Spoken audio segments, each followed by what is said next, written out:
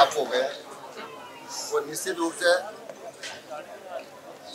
आप सबकी जो मांग है, वो निश्चित रूप से बहुत अच्छी वाजिब मांग है। इसको अपनी मांगों के लिए, अपने हकों के लिए लड़ाई लड़ना और उनको संघर्ष करना, ये लोकतंत्र का सुनहरा एक कार्य होता है। और अपनी मांग मांगने के लिए संघर्ष भी करना पड़ता है। और आप युवा बेरोजगार है जो अपने रोज़गार के, अपने धंधे के लिए काम कर रहे हैं तो मैं इससे आपकी मांग को बिल्कुल सकारात्मक और सही माँगता हूँ कोई गलत नहीं है। और क्योंकि मैं सरकार का विधायक होने के नाते इतना ज़रूर कह सकता हूँ कि आपके संघर्ष को सरकार हल्के में नहीं ले रही कभी भी। आपका संघर्ष बिल्कुल वाजिब है और इस संघर्ष को सरकार आपकी पल पल की खबर सरकार के पास है। और यह संघर्ष आपका कोई आस नया नहीं है कि आज पहली बार ही आपने संघर्ष किया। ये संघर्ष कई पहले भी सरकार जो यूनिट बनी थी उससे पहले भी संघर्ष आपने किया था? उस संघर्ष में? तो मैं आपको इतना मैं आपको विश्वास दिलाने दिलाने आया हूँ आप सभी भाई बहनों को कि सरकार आपके प्रति बिल्कुल पॉजिटिव है। निश्चित रूप से इस कार्य में सरकार आपके पक्ष में निर्णय आएगा।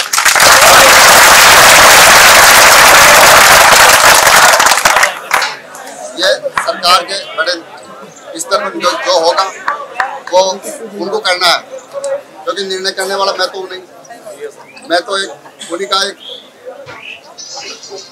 विधायक हूँ लेकिन मैं ये कह सकता हूँ कि युवा हमारी धरोहर हमारा भविष्य है और हमारा आप ऐसे वक्त में जिस वक्त में लोग साँसें लेने के लिए भी दूबर हो रहे थे उस टाइम कोरोना काल में भी आप सबने बड़ी मेहनत करके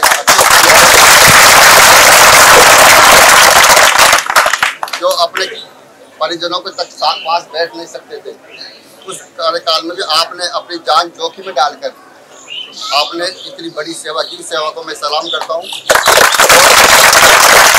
आपकी सेवा के इस ताकत को आपकी यूनिट जो ताकत है, संगठन है, इस संगठन को निश्चित रूप से सरकार आपकी बात को सरकार तक हम आपकी बात पहुँचाएँगे। और दमदार तरीके बताएँगे सदन तक बात पहुंचाएँगे, सीएम तक बात पहुँचाएँगे। और निश्चित रूप से सरकार का जो निर्णय होगा मैंने व्यक्तिगत रूप से बिल्कुल हम अपने सब युवाओं के पक्ष में ये बात कर सकते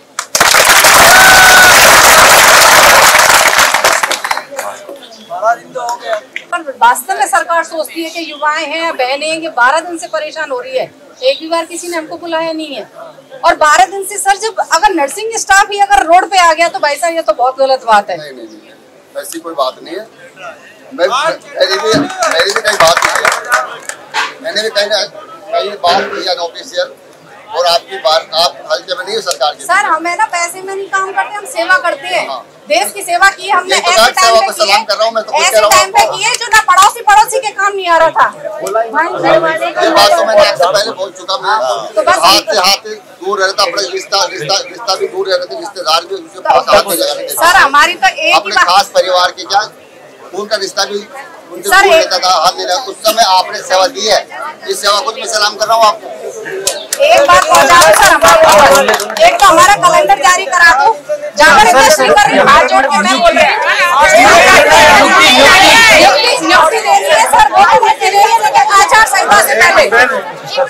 और मैं मैं बता रहा हूँ सर को जो बात अरे साइलेंट हो यार सर विधायक साहब आपके पास में आए कोई ऐसे थोड़े आपके बात सुनने आपकी बात सुनने आए भाई सर से मैं आप सभी के सामने विधायक महोदय से निवेदन कर रहा हूँ कि हमारी जो भी जायज़ मांगे इस पत्रावली में है उसको सरकार के चिकित्सा मंत्री तक और मुख्यमंत्री महोदय तक पहुँचाए और इसमें जो भी निस्तारण हो सकता है जिससे जल्द से जल्द नियुक्ति मिले बस यही हमें आपसे चाहिए सर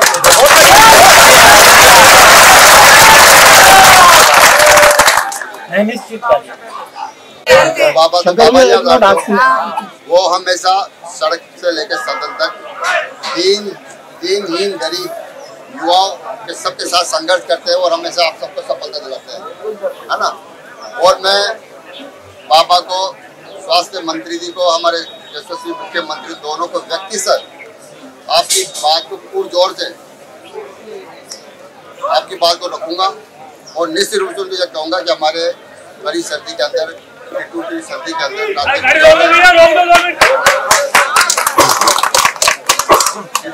रात गुजार रहे वो आगे भूखे रहकर भूखे प्यासे रहकर अपने जान समय गुजारे उनके प्राथमिकता के साथ मानवीय दृष्टि को ध्यान रखती है उसमें ध्यान दें ये मैं आपकी बात निश्चित रूप से आपका आई बन के आपका बिल्कुल बन सर। आपकी बात को रखूँगा हाँ।